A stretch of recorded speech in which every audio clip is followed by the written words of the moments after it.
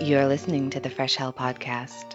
Fresh Hell contains stories of a disturbing and often graphic nature and is intended for a mature audience. Please don't let your kids listen to this, or they might turn out like us.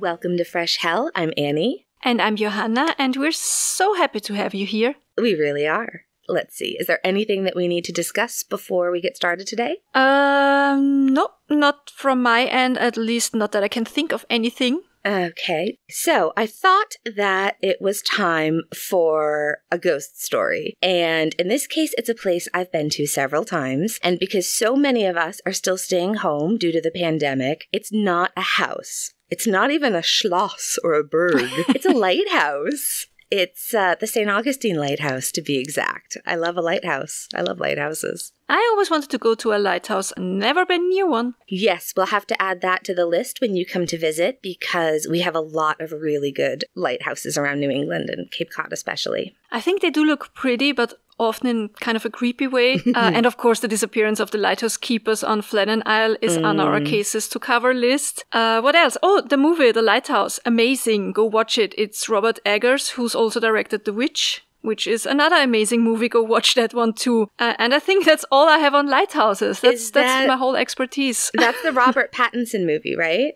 yes, exactly. Yeah. Is it scary? Uh, The Lighthouse movie. Well, uh, I, I, me personally, I wouldn't call it scary. It's kind of. Was the witch scary to you? I didn't see it. It looked too scary. Wait, you went to school in St. Augustine, right? I did, yeah. I went to Flagler College for my undergraduate, which itself was very haunted. And Paul and I were married in St. Augustine at the Casa Monica Hotel, which when I was in school, that building was used for town offices, but it was purchased and rehabbed back to its former hotel glory after I graduated. They did a beautiful job with it, and it's where the royal family of Spain stays when they visit uh, St. Augustine. And I recommend it very much. So, my plan today is a little bit of Florida and St. Augustine history because it is the oldest city in the United States, or I should say very specifically, it is the oldest continually occupied European settlement in the United States. That's impressive. Well, yeah, it's and there is a difference, right? Because there were other things that started and failed before, but Yeah. So, yeah, brief history of the area, which actually feels like a lot, uh, but I promise I've left out so much. You know how I am. I kept finding information that I hadn't known before researching for this episode, and I had to include it. And I'll probably do uh, several other St. Augustine episodes as we do this podcast. So at least now the basics will be done. You know what I mean?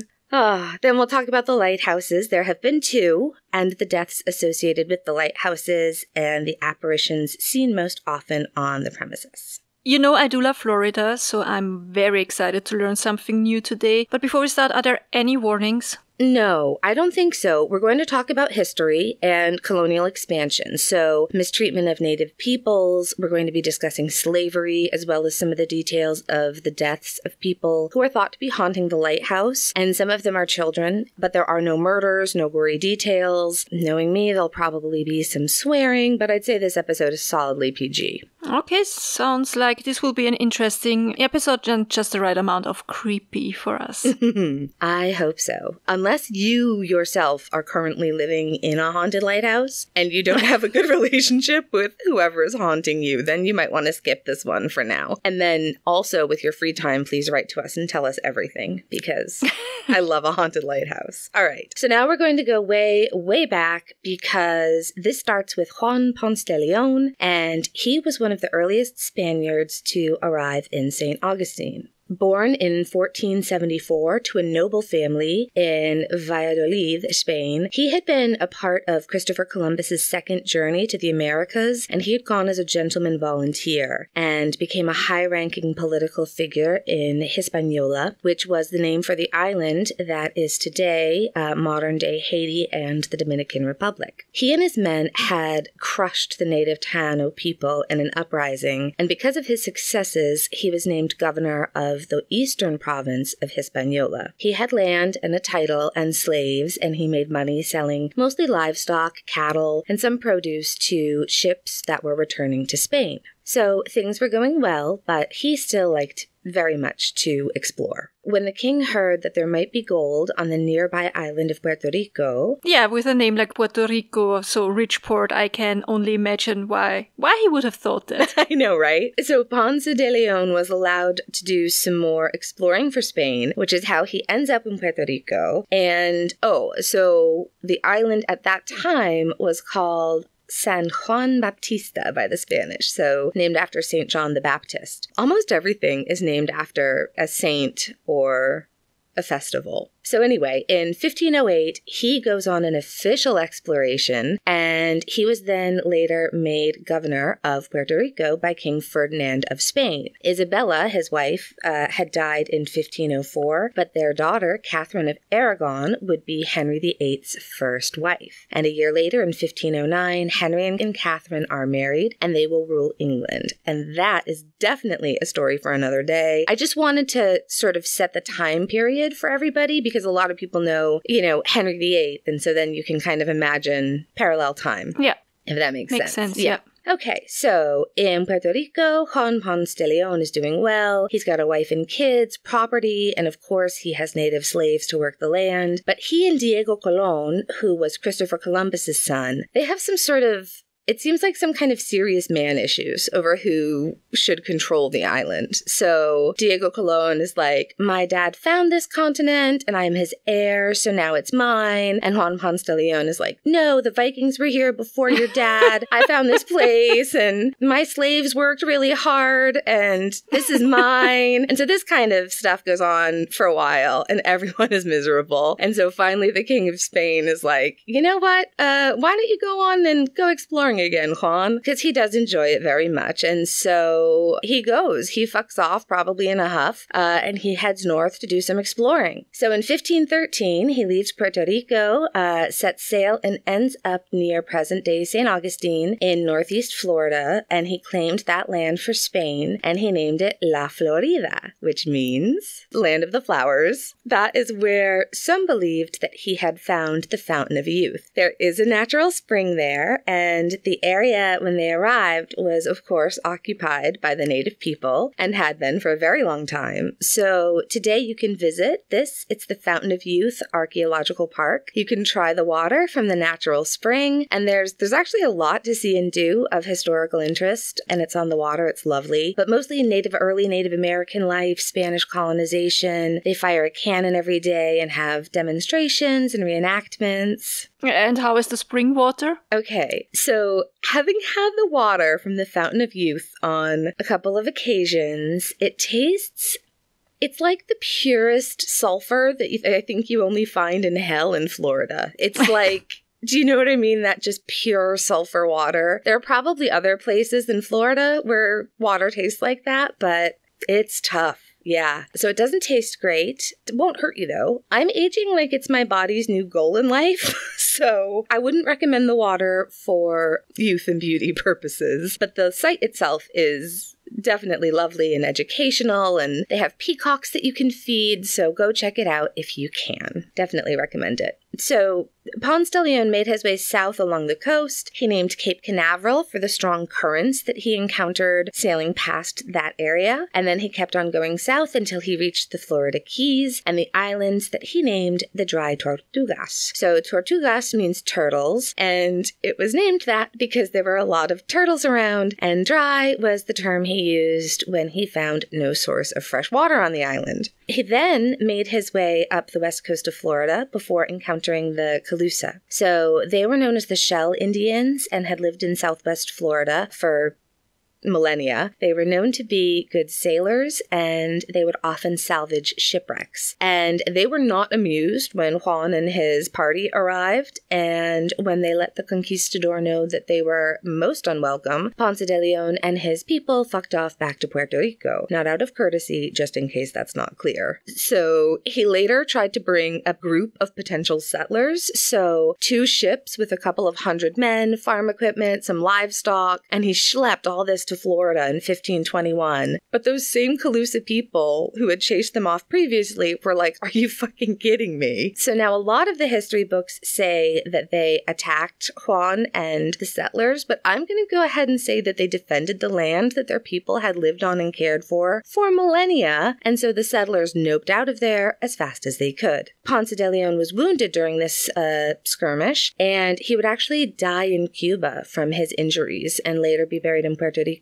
But his legacy lives on in a million things named after him. My college was actually originally a Gilded Age luxury hotel built by railroad magnate Henry Flagler. Just the dining hall alone is just a giant circular room, and all of the windows are original Louis Comfort Tiffany. Presidents and dignitaries stayed there. My dorm room was actually a two bedroom suite with a common study area, a private bathroom for the six of us, and my bedroom had a carved marble fireplace in it, so it was pretty amazing. But no air conditioning and no interdorm visitation, so, you know, downsides. The name of the hotel was the Hotel Ponce de Leon. So it's now Flagler College, and most recently, I think people call it America's Hogwarts. I'll post some photos. If you're a fan of the arts, you just, you're gonna love it. But yeah, Ponce de Leon's name is all over Florida and probably all over Puerto Rico because he was the first governor there. Okay, so to recap, this part of Florida has been inhabited for thousands of years by native peoples, then explored and claimed for Spain by Juan Ponce de Leon, but now we're going to flash forward 50 years to Pedro Menendez de Aviles. He was a conquistador from Asturias, Spain, who had claimed, named, and settled St. Augustine for the Spanish crown. So, if you're ever in Asturias, which is where he was from, it's in the northwest of Spain, you must eat at La Zamorana. It's in Gijón. It's the best restaurant in the province. Also, there's a town in Florida named for Oviedo, which is the capital of Asturias, but they pronounce it Oviedo. And apparently, there's a, a movement to try and get people to pronounce it correctly, which I support. It's so different. Oviedo, Oviedo. Like they've left out an entire.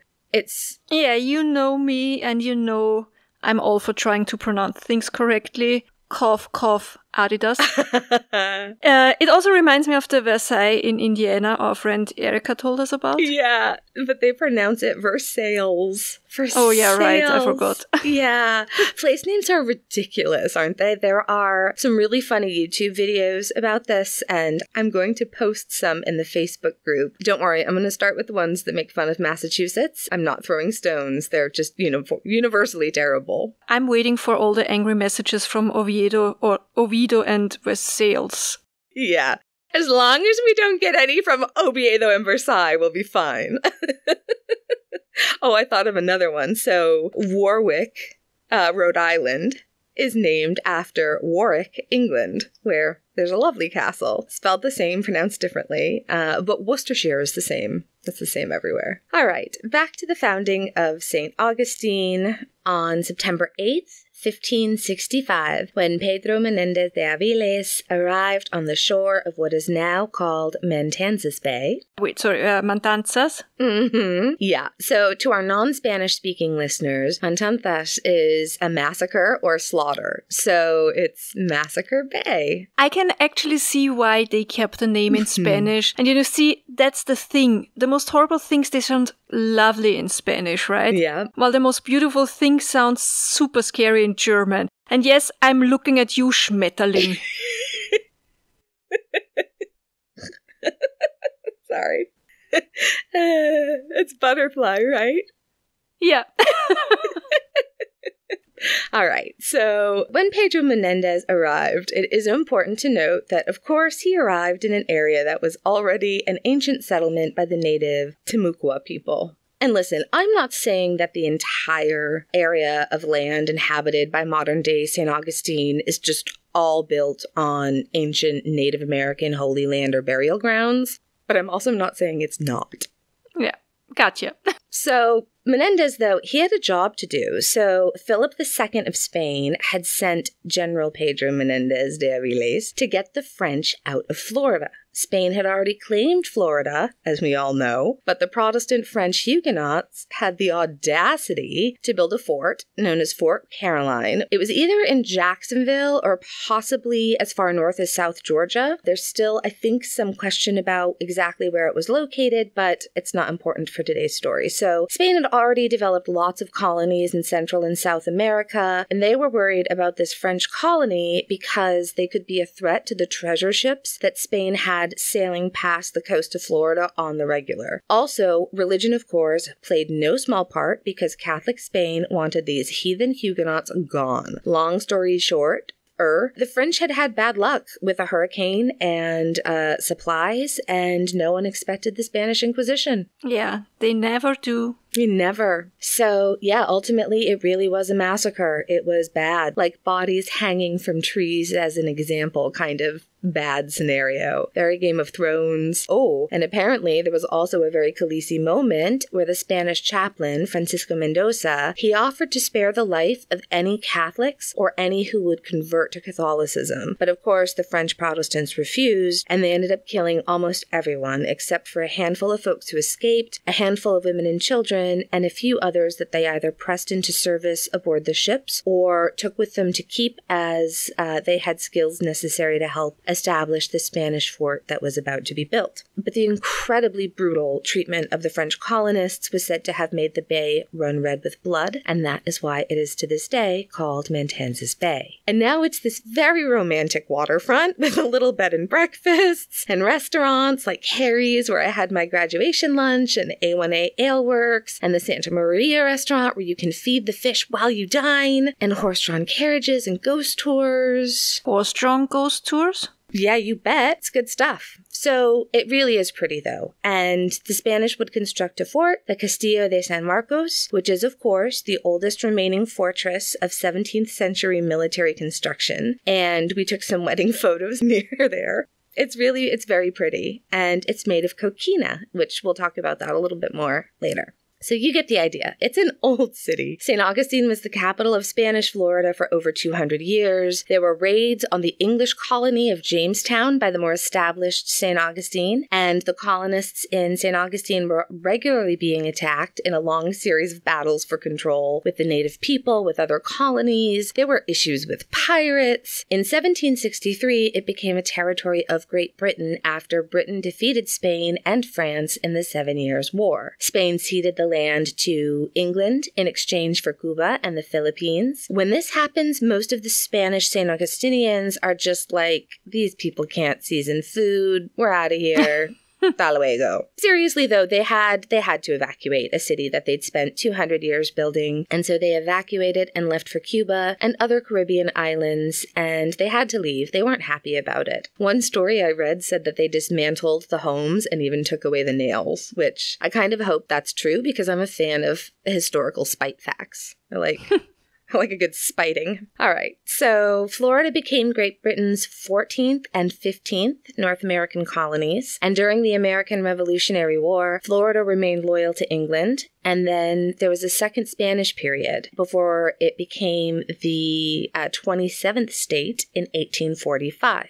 Florida did not support Lincoln in the presidential election, and his anti slavery agenda was a real problem. And Florida was the third state to leave the Union, and so they joined with the Confederacy to fight against the United States in the American Civil War. They needed to try to keep the slaves that were keeping the massive Florida plantations making that money. And that is where I found information about Fort Mose. Fort Mose was created by the Spanish governor of Florida, Manuel Montiano, in 1738. It was a free black settlement and it was the first in what would become the United States. And slaves who had escaped from the Carolinas and Georgia were directed to St. Augustine. And they were actually aided in their escape by Native Americans who were responsible for the first Underground Railroad in what is now the United States. So I would love to do an entire episode episode on Fort Mose. The full name is actually the Gracia Real de Santa Teresa Mose. The men there were part of an important militia protecting the north of the city because when they arrived, of course, their freedom was conditional. They had to convert to Roman Catholicism, and any able bodied man had to serve in the militia for a period of four years. But of course, that was easy enough to do in exchange for your freedom and your life. It's almost literally cake or death, right? So mm-hmm. these free slaves uh, formed alliances with the local Native American people and the local colonists. They were given land on which they could build homes and farm and raise families. And when control passed from Spain to England and those Spanish colonists all left, so did all of the free Africans from Fort Mose because the treaty in 1821 made Florida a U.S. territory, more specifically, a slave territory. So most of the men, women, and children fled Florida for Cuba Cuba, the Bahamas, and other parts of the Caribbean to avoid being forced back into slavery. If you have a chance to visit this incredibly interesting and educational state park, it's got an accessible visitors center and boardwalks. There are reenactments, and there's a great PBS video and kids book about Fort Mose. I'm going to link to those in our sources. But I should also mention, if I understood this correctly, when we talk about slavery in this particular place and time period, it's complicated. And make no mistake, we both absolutely condemn slavery of any kind. It's just in this circumstance, it's not as black and white as you would think. I didn't mean to use that phrase, but it actually fits. What I mean is, it wasn't what we think of in terms of pre Civil War in the United States. I think most of us probably just think, you know, when we think of that time period, that we think of, you know, all black people being slaves, all white people, you know, being free. Yeah. Right. But during this time period, it seems that there were free black men on both Ponce de Leon and Menendez's crew, but then they did have slaves who were usually Native American. And then sometimes the Native Americans would capture shipwrecked colonials that were both white and black and make them slaves. And I'm not in any way meaning to diminish the long and horrific history of the enslavement of the African people. It's just at this time period, it seems like everyone was looking for humans to enslave, which, I mean, that's been going on since at least biblical times, right? I will tell you the most fucked up fact I found out about slavery in Florida was the fact that the last slaves in Florida, guess what year? It technically became illegal with the 13th Amendment in 1865. So, when do you think slavery ended in Florida? Uh, Jesus, I don't know. If you say it like this, it must have been late, maybe uh, 1900? Mm-hmm. That's a good guess. 1942. What? My mother was born in 1942 and she just passed away at the age of 77. Yeah. So here's what happened because I can't not share this. So Khalil Gibran Muhammad, he wrote a piece for the New York Times 1916 project, which I highly recommend. So he writes, quote, In 1942, the Department of Justice began a major investigation into the recruiting practices of one of the largest sugar producers in the nation, the United States Sugar Corporation, a South Florida company. Black men unfamiliar with the brutal nature of the work were promised seasonal sugar jobs at high wages only to be forced into debt peonage, immediately accruing the cost of their transportation, lodging, and equipment, all for $1.80 a day. One man testified that the conditions were so bad, quote, it wasn't no freedom, it was worse than the pen, end quote. Federal investigators agreed. When workers tried to escape, the FBI found that they were captured on the highway or, quote, shot at while trying to hitch rides on the sugar trains. End quote. The company was indicted by a federal grand jury in Tampa for carrying out a conspiracy to commit slavery, wrote Alec Wilkinson in his 1989 book, Big Sugar Seasons in the Cane Fields of Florida. End quote. It reminds me of human trafficking that is still happening today. I mean, slavery is mm-hmm. still happening today. Absolutely. Absolutely. Yep. And yeah, that's where I'm going to end the slavery portion of today's episode. I just kept finding these facts out that just, I was just kind of stunned by a lot of this and inspired by some of it. I just don't think I could have skipped any of it. It's just not a simple story. And so now I'm looking for more books on this very complex topic. I'm guessing my dad has some. I'm absolutely sure he does. Yeah. So there's more and lots more, obviously. But we need to get to the lighthouse. But I just wanted to be clear that this area had a long, bloody history, decimation of native peoples, slavery, wars I haven't even mentioned. You can certainly understand why a city with this much history would be positively overflowing with spooky fuckery. Mhm. And it is. It really is. But it's worth it because it's a beautiful part of the country. And honestly, I could do 10 episodes on just the history of St. Augustine, but I won't. It's out there if you want more information. Most people, when they think of Florida, they think of Orlando because for most of the world, including most of the United States, that may be the only p- place that you would visit if you're not within driving distance, right? It would just be a trip to Disney World. Yeah. Yeah, but if you get the chance, St. Augustine is it's a really beautiful city. And it's a city, but it feels more like a small coastal town. Uh, I think that's why it appealed to me so much growing up on Cape Cod. We hosted a student from Spain when I was in high school, and we just got along so well that my sister and I spent a summer there before my last year of high school. We spent a summer with her family in Asturias. And so when I visited St. Augustine as a prospective student, I just I fell in love with the very Spanish feeling town. Red tile roofs and narrow cobblestone streets. It's a very European feeling town uh, in the United States, and it's just it's on the water. It reminded me of home. There's a bridge, a drawbridge that spans the Intercoastal Waterway or Matanzas Bay, and it connects A1A on the mainland San Augustine to Anastasia Island. This bridge is known as the BOL or Bridge of Lions, which is named for the two large stone lions that are on the mainland side. This bridge was constructed in the 20s. In the early days, it was like it's probably rowboats. And then at one point, there was a terrifying looking wooden bridge. Really makes me uncomfortable just looking at photos of it. I'll post one. and I think the year I graduated college, so 1999, it was declared structurally deficient. Remember that conversation we had about all the Mhm. bridges? hmm So they just finished a huge renovation of it in 2010. Uh, so it's once again safe to drive on. But it's a real bummer if you're trying to get to class and a vote's going through. We're now going to talk about the lighthouse. But first, we need to take a quick break for a word from our sponsor. Payoff.com is a paying sponsor of this Fresh Hell podcast.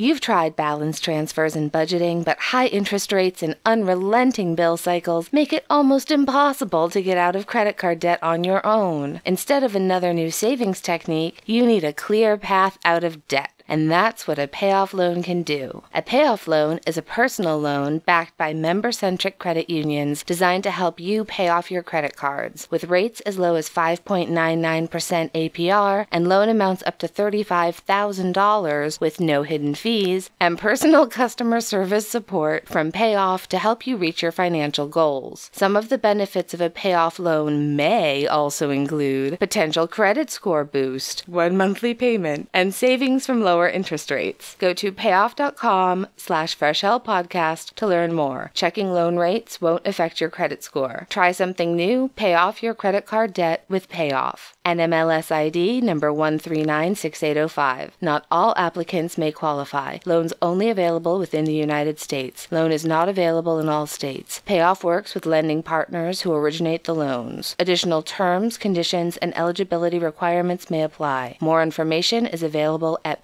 payoff.com slash freshhellpodcast. Okay, so that was a paid advertisement. Now let's talk about the St. Augustine Lighthouse history. And a lot of this is from the St. Augustine Lighthouse website. I believe a lot of this part was written by Paul Zielinski. They have a great educational website that we will link to. I assure you, you'll want to visit it. So, as I said, across the BOL, Bridge Lions, is Anastasia Island, where the lighthouse was located. Now, the first lighthouse was a wooden tower built by the Spanish to watch for approaching ships, more of like a watchtower. Then one day, in 1586, Sir Francis Drake himself sails on by. So he had been sent by Queen Elizabeth I, Henry VIII's badass daughter, to both damage as much Spanish held territory as possible and then replenish the colony at Roanoke. So he's sailing by and he sees the watchtower and the fort and he's like, oh, this must be St. Augustine. We should sack it. And they did. And so then the lighthouse was rebuilt in 1737, and this time it was built out of native coquina stone, which I mentioned earlier. I'm not sure stone is the right word to use. So, coquina is a soft limestone, sort of, and it's made up of broken shells and fossils and things in the soil. It's native. It's native. Follow me for more geology tips. It's native to the area, but I think it's pretty rare in terms of globally. And it's really, really soft and it needs to be dried out for a very long time to be workable. I think like years you need to dry it out before it's usable. But once you do all of this and you build with it, it's very strong, but also surprisingly and kind of weirdly shock absorbent. The Castillo de San Marcos, the fort, is built of coquina and it's got coquina walls. And there are places where you can see where maybe an English ship in the harbor fired a cannonball at the fort and it hit the fort. And rather than break a piece off like you would expect right? You imagine you know you've seen it in movies you know a cannonball hits and a chunk of mortar and whatever it is Yeah. stone goes flying. Well with coquina it just got like stuck in the wall. I wish you could see i'm like punching my hand with my fist like just whoop. And then now there it'd just be stuck in the wall or it would sort of like bounce off and then the spanish would come out during like downtime uh, of sieges and collect all those cannonballs and then fire them back at their own ammo at their enemies in the harbor. So the city took a lot of heavy attacks, but I think the fort pretty much always held. And part of that was the Coquina Stone, and there are a few places in St. Augustine where you can see it. It's it's cool. So, Florida became a territory of the United States in 1821. Remember, that's when the Spanish colonists and the free Africans left for Cuba and the Bahamas. And when it did, the United States government decided that St. Augustine needed a better lit coastline because there have been a lot of wrecks in this area. Like, a lot, a lot. In fact, on the night of New Year's Eve, 1782, uh, approximately 16 ships that were being used by the British to evacuate Charlestown, or as we know it now, Charleston, South Carolina, they all were shipwrecked during a nor'easter following the American victory in the Revolutionary War. The Lighthouse Museum has a history uh, exhibit about this, so check it out if you go. So they inspected the watchtower and they were like, this isn't a lighthouse, it's a watchtower. And so Congress approved $5,000 to build a new lighthouse. And on March 25th, 1824, the lighthouse was operational with, quote, 10 patent lamps and 10 14 inch reflectors, end quote. The first keeper of Florida's first United States lighthouse was Juan Andreu. He was the son of indentured servants from Minorca, island off the coast of Spain, who had traveled by foot. And if I've calculated this right, so his parents walked the 70 miles north to St. Augustine when the owner of their plantation he was a nightmare human being. He had fled for Charleston. He was apparently bad enough of a plantation owner in a time when they were all pretty awful, right? But he and his overseers were known to be just absolute monsters, and his slaves and indentured servants were dying from disease and neglect and abuse. And so they had had it, and they they actually started a march north to St. Augustine for sanctuary, and they received it, and he had fled. So lots of this information, again, is from the Lighthouse website, and it says, quote, Juan was the first of many Minorcan keepers at the St. Augustine lighthouses. As the first, he also holds the distinction of being the first Hispanic American to serve in the Coast Guard and the first to oversee a federal installation of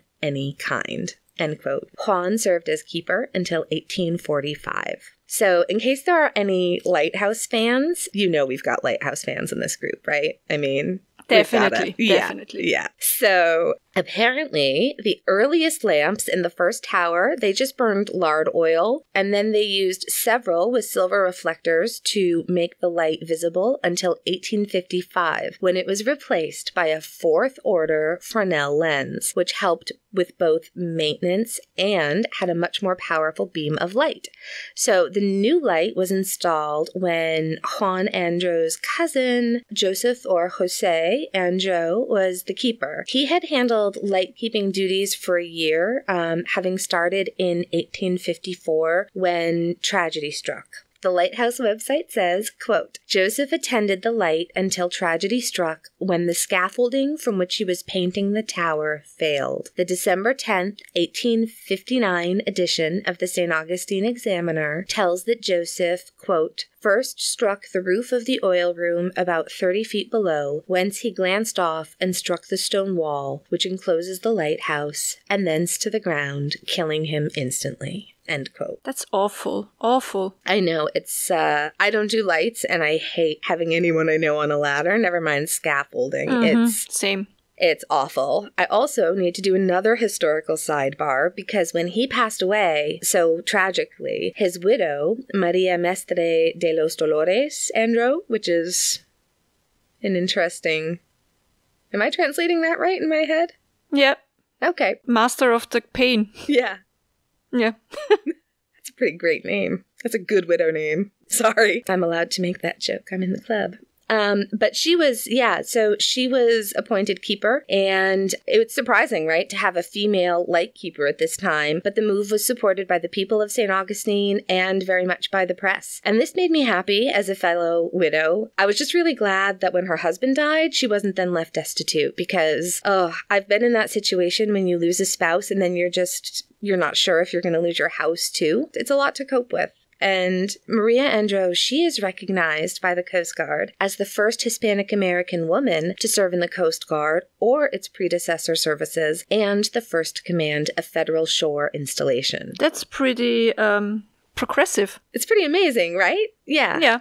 Very progressive. So she served as the lighthouse keeper until the Civil War. Uh, you remember Florida was the third to join the Confederacy. And so in 1861, January 1861, the city customs collector removed and hid the lighthouse Fresnel lens to make it even harder for the American Union Navy to navigate. But eventually, the Union Army did take the city, and it happened fairly peacefully. The lighthouse was lit again on June 1, 1867, but the eroding shoreline made it very clear that they needed to find a new location for a lighthouse and soon. Congress appropriated $100,000 for funding for a new lighthouse during Florida's Reconstruction period. The U.S. Lighthouse Service began construction on a new 165 foot tower in 1871, and work was completed in 1874 when it was fitted with a new Fresnel lens with 370 handmade prisms, which is still in use today, having been restored.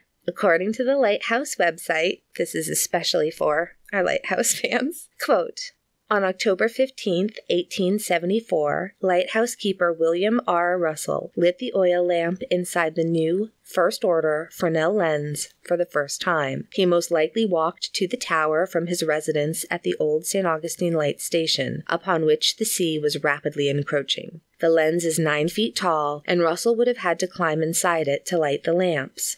The jewel like lens was handmade just for St. Augustine in Paris, France, by the company of Sautter and Lemonnier. It represented the height of Victorian engineering and technology and cast its beam much farther out to sea than its predecessor. The new light now demonstrated three fixed flashes from three bullseye panels that could be seen from up to 19 to 24 nautical miles, depending on atmospheric conditions. Fueled by oil and then kerosene before electricity came to the light station, the original lens would have given off a brightly hued yellow light. Citizens living in town would have immediately noticed, and many have remained interested in it ever since. On February 28, 1889, the St. Augustine Weekly News described the lens in the following manner quote, The lamp was a brass cylinder of 10 gallons capacity. Inside, it has a heavy weight which governs the flow of oil to the burner. The burner has five wicks in concentric circles. A chimney leads to the roof. It has a damper which regulates the flame. The globe is a huge case of glass which revolves around the lamp every nine minutes. It makes a flash every three minutes when a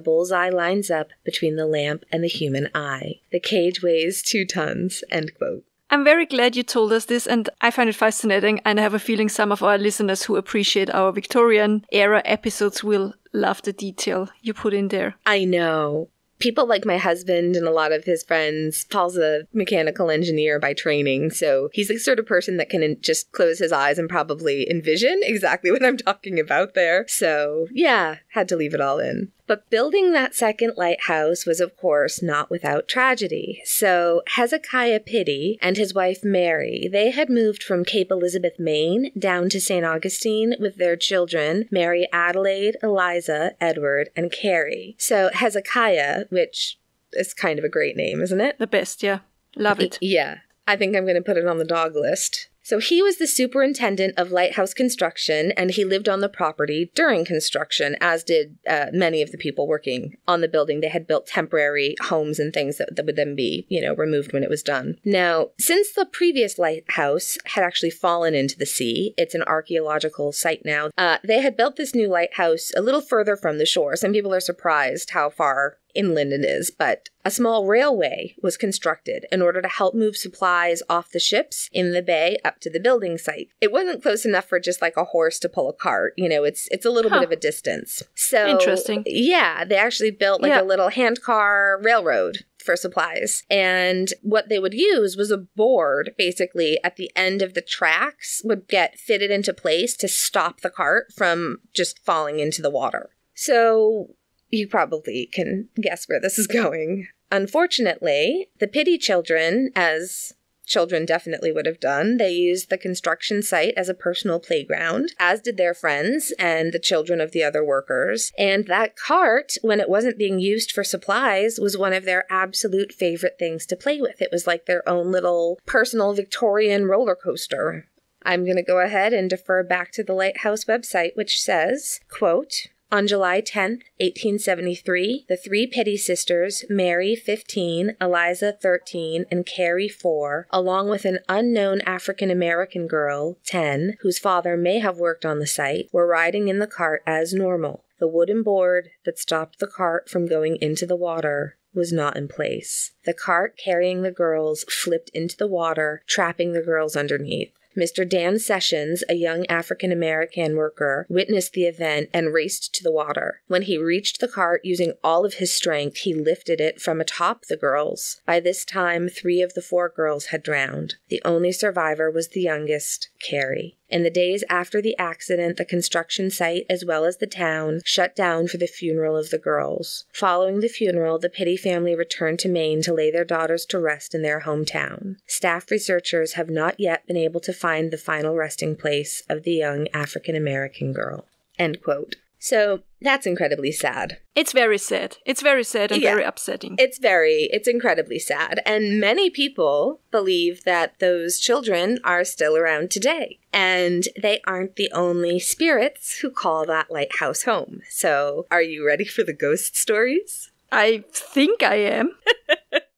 All right. I'm not sure. I know. It'll be fine. So, funnily enough, I don't think I ever visited the lighthouse when I was living in St. Augustine. I went to plenty of parties near the lighthouse, which will never be discussed on the air. And I think my family all went. They would come down for Thanksgiving every year. They'd come down for the week and rent a condo for on the beach. Because when I was in college, I only got the Thursday, Thanksgiving is the Thursday, and the Friday off. So didn't make sense for me to fly home for four Yeah. days, yeah? But it was great. My parents would come down and they'd make a huge Thanksgiving dinner, and I would literally invite every single person I'd run into on campus. I'd just give them the address, and there was just people constantly coming in of the house and eating turkey, and my parents were in heaven. So I'm sure they went when I was in class during the week. I didn't go until after I saw the episode about uh, the lighthouse on ghost hunters. And we'll talk about that episode later, which I'll link to. But I did end up going to the lighthouse with Paul and my wonderful mother in law, Valerie. And we took a lot of rests, but we made it to the top, which for me and my fear of heights is impressive. It's 165 feet high, as I'd said. And it really is. It's a really pretty lighthouse. It's got very distinctive black and white stripes. There are 219 steps that lead you to the top of the tower and the observation platform. And the steps are just it's like a cast iron, I think it's cast iron, circular staircase that just goes all the way up around around around. But the stairs themselves are are like a grate so you can look straight down, which I don't like at all. But it is very pretty once you get to the top and it's stunning even if you're clinging, you know, once you're up there. and it's haunted. Yes. So this is also from the Lighthouse website, but this is by Kelsey Lloyd. She's their special programs manager, and she writes about the Lighthouse's special tours that they do that are called the Dark of the Moon Ghost Tours. It's a good name. Isn't it? Dark of the Moon. I love it. Dark of the Moon Ghost Tours. I like that, yeah.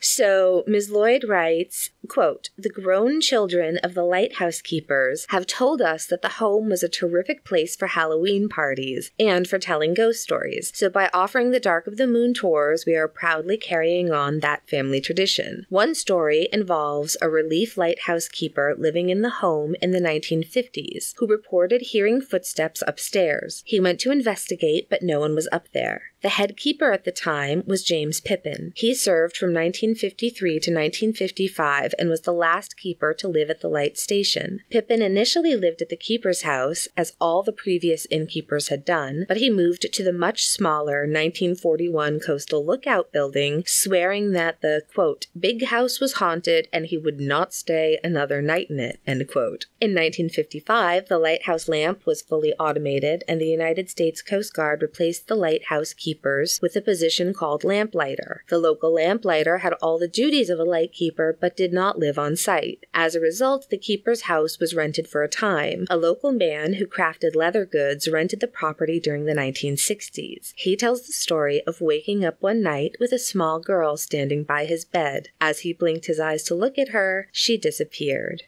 End quote. So Huh. that was actually something the girls in the room across from ours in college reported happening a lot. That they would wake up and see just a little girl in the room in period dress, very shining style. You like Kubrick, right? Mm-hmm. mm-hmm. Yeah, I, you know, I love Kubrick, but I didn't, I wouldn't want to wake up You don't want to wake that up side. next to little ghost children with bows in their hair. Nah, just I think there's nothing scarier than little ghost girls or little ghost kids in general. Yeah. No, I think that I would be less afraid of seeing a child ghost than seeing like a full grown man. Do you know what I mean? You know, because I have ghosts in my like if I see a full bodied apparition in this house, it would be less frightening to me if it was a kid than like a person. Because if they look real enough that you think it's a person initially, Yeah. you know what I I mean? know what you mean. A small child, I'd be like, oh, what's, hey, what's going on? Where's your mom? You know, whereas like a man, I'd be like, oh no, just different, you know, different feelings. We actually had that, by the way, my place I lived with my friend Q for a while, this awful place. Our landlord had given her boyfriend the who was like the handyman keys to our apartment and we would wake up and Oh, he'd God. be standing in our room staring at us. Yep. Good times. So anyhow, uh, Miss Lloyd goes on to explain that the lightkeeper's house had burned down under mysterious circumstances, and it left nothing behind except for the coquina basement. There were a group of women volunteers that stepped in to save the property, to raise money, to rebuild the keeper's house, and they actually repaired and restored the original Fresnel lens that some asshole had shot. It had been damaged because somebody had shot it.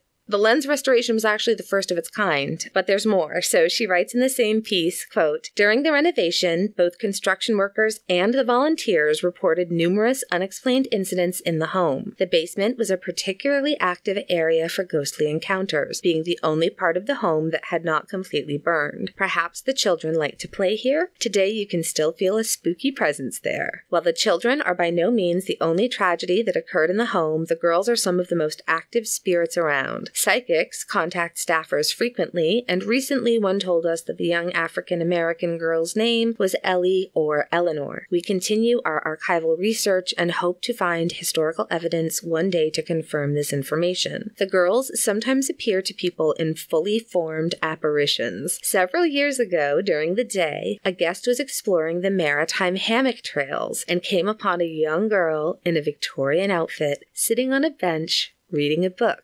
As she began to ask the girl a question, another group came up from the opposite direction. Distracted by the group, the woman looked away for only a moment and turned back to find the little girl on the bench gone. In a similar instance, a woman on a ghost tour approached another woman to compliment her daughter's behavior on the tour. Confused, the woman said she had no daughter. The other woman then told her that a little girl had been standing by her side for most of the evening. There were no children on the tour that evening. End quote. Jesus. I think that's the best kind of experience. That would be the dream, wouldn't it?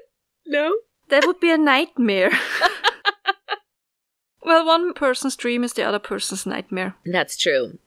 I'll take I'll take care of all the Victorian child ghosts for you, honey. Someday when when we're touring the world and doing live shows in very small venues sharing weird old hotel rooms. If ever there's like a Victorian ghost situation, I will handle it. But wait, there's more. Other people that are thought to be haunting the lighthouse are one of the keepers, Peter Rasmussen, who is known for being meticulous and always having a cigar. So many people have reported the smell of a cigar, and it's believed to be him still watching over everything. Also, if you remember the keeper Jose Andro, who had fallen to his death while painting the lighthouse, he's also been sighted keeping watch on the tower. So I think people do actually see him and recognize him, and like it's him. Staff report locking the door at the top of the lighthouse every night and finding it unlocked and open in the morning. There's an alarm system and motion sensors, and a light will turn on at the top of the tower for safety if you trigger the motion sensor on the stairs, but there's never anything that triggers the security system. So they're not, they still don't know security, like the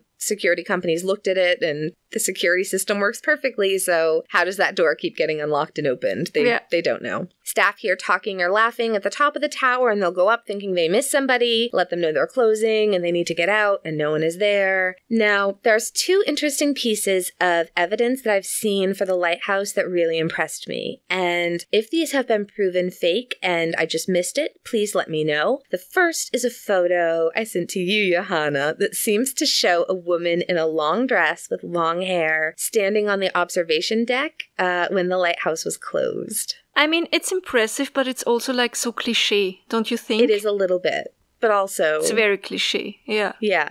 But is it cliche? Because that's the time. Do you know what I mean? Like, people always seem to see. I know. Well, what was there first, the chicken or the egg, right? Well, that's true.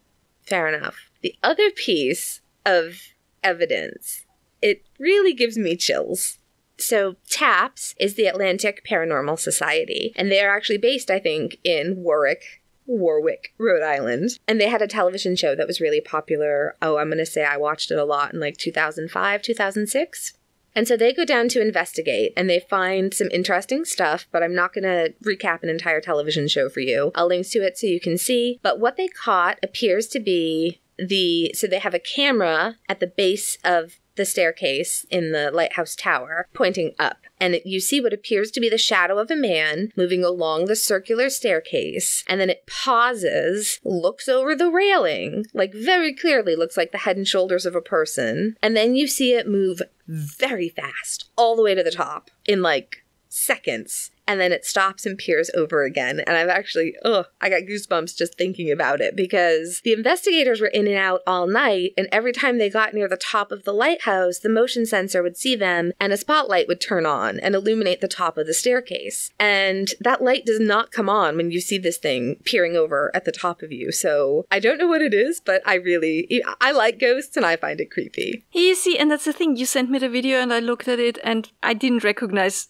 a head and shoulders. Well, you know what? The video I originally sent you was not the best. So I found another copy of it where it's Okay. better. The one I first sent you, I was like, why does this look like it was taped on a VCR? Like the quality yeah, exactly. Was was really like, hmm. pixelated. No, I'll the, I'll link to one where it's a much better, much better quality. We're It's- gonna take a look and let you know what I think. yeah, it's creepy. Uh, it's it's creepy. One of the theories is that the lighthouse maybe also attracts the dead from the many shipwrecks, which Hmm. it's possible. I didn't even get into the pirate aspects. And the reason I got so interested in into the history was first because it's fascinating and terrible in its own right, but also of course another theory uh, in terms of hauntings is that the more tragic history a place has, the more activity there would be. So like Rome should be more haunted than Yeah. Antarctica. Yeah. Makes sense. A bunch yeah. of angry penguin ghosts, and right? It makes sense. So, whether you're a believer or not, those Dark of the Moon tours, they fund really important museum programs that are very science based, and they also sell out very early, way in advance. So, book early. I think, you know, it's not often that I'll say you have to do this ghost tour, but this one actually supports the preservation of the lighthouse and they're doing a lot of archaeological work underwater at the old lighthouse site and they have a great website. You'll you'll enjoy it. And um that's it yeah, that's the story of the St. Augustine Lighthouse and the founding of St. Augustine. Thank you. I, it's fascinating, really. I had no idea. I've never been to St. Augustine. I've been to Florida. You know it. Mm-hmm. But I definitely want to go there next time I'm there. Yeah, I can't wait to show you around. You're going to love it. You're going to love it. Uh, my something good this week is that now that I'm staying with my mom, I cook way more often. I love to cook, I really do. But when I'm living alone, I never do because it's just like, what's the point? What's the point? Yeah. But now I really love to cook and I'm cooking with my mom Nice. right often at the moment. And I bought a new air fryer. Well, not a new, I bought an air fryer. I never had one before and I love it. It's amazing. I even made bread with it. It's perfect. Nice. Wow. Now I want an air fryer. Are they healthier, the air fryer, or is it Well, they use less oil. okay? So still fried, but like healthier fried? It's like an oven. Oh, I think I want an air fryer. It's really good because it's super fast. The chicken was done in like 40 minutes. The bread was done in Oh, like 15 minutes because it's smaller and it gets hotter faster. I should get one for my dad. I keep meaning to get mm. him like an Instapot. Good. Nice. So my something good, mine is actually going to be St. Augustine, Florida. Now, I know that we can't travel right now. None of us can, and it's tough. But eventually, things will open up again and things will be somewhat we'll have a new normal, whatever it is, but we'll be able to travel again. And so I really want to recommend St. Augustine. There's something for everyone. There's dining and art galleries, history literally everywhere. The beaches are beautiful. It's great. Please tour the Lightner Museum, Flagler College, and the fort. One of the reasons that we chose to get married there is that there really are lodging options for every budget. So go walk around at the alligator farm, say hi to Gomek, who is still alive and kicking when I was haunting the area, so to speak. Please go to the lighthouse, take a tour. When you're on the island, have a meal at the Conch House. That was my favorite restaurant. They have these, it's on the water, on the marina, and they have an outside deck, and then they've built these little crow's nests over the water, like little tiki huts that you have to like walk up a ramp to get to. I just, I love that place. I'll be doing more episodes featuring St. Augustine, I'm sure, as it is really one of the most beautiful and the most haunted cities in America. To our overseas listeners or people who love a road trip, I would suggest a couple of nights in St. Augustine, and then it's only about a two and a half hour drive from St. Augustine to Savannah, Georgia. Stop in Fort Mose on your way, for sure. And then from Savannah, it's only about two hours to Charleston, South Carolina. Ah, I was really close then. Yeah, it's close. There, I, anytime I would be thrilled to go with you. Not in the summer, but like any other time, any other season. Because all three of those cities are just beautiful historic cities with a lots of ghosts. So they all have walking tours if your joints are up to it. If they're not, they all have trolley tours. And St. Augustine is about two hours northeast of Orlando. So if you've got kids and you're planning a Disney and Universal trip, you could combine it with a trip to the parks and add beautiful St. Augustine. That's it. Sounds great. Thank you so much for listening. This one I didn't mean for this one to be a historical episode, but sometimes that's just how it how it goes. Uh, so thanks again so much for listening. Come say hi in our Facebook group. We still need puppy names. We're looking for puppy names. I'm going to add Hezekiah to that list. Where else can they find us? Instagram, the Twitters. You can check out our webpage, freshhellpodcast.com. Yes. There you can find links to all of our sources. You can find links to our social media, to our voicemail, where you can leave us a voicemail, to our email, which is freshhellpodcast at gmail.com, to our merch store, where you get nice t-shirts and mugs and whatnot. People love that new design too in the merch store. It's not yet in a merch store, but it's gonna be soon. It's amazing. So, yeah. Please say hi to your pets. Give them a hug from us.